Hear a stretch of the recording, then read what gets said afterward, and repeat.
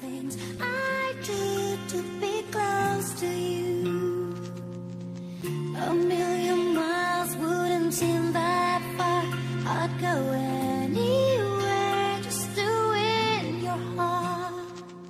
I picked up my pen four years from the day. Never thought I'd be rapping or even sign to Drake. Never been to New York, I had to find a way. So I dropped 40 bars on the Clue mixtape, on the Birdman beat. and my name start buzzing. Aftermath's Young Gun, and now everybody love him. I hooked up with Gavin, Foxy's little brother. He took me to Kay Slay, and Slay put me on the cover. Drama King, I should've known. Cause all of a sudden, MC's calling my name, and I'm beefing with Joe Budden. That beef came and went. I got at him over colors, then called him a Def Jam, and found out it wasn't nothing. Look back on my career, staring out at the city, thinking about the bidding war between Dre and Diddy. If I was signed to Bad Boy, with 50 be on the map? Probably not, but maybe Justo wouldn't have crashed.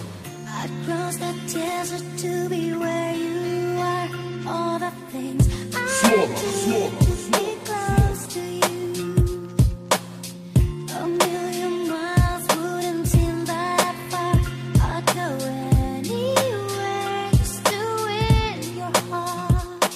I remember when Funk Flex first heard me flow, and Sway let me freestyle on the Wake Up Show. Spit over a hundred bars, then Miss Jones start the host, and that's when they start showing me love on the East Coast. Then more people found out I was with Dre, and at bodegas I'm on nine out of ten of the mixtapes. I'm working on my album, and the world can't wait.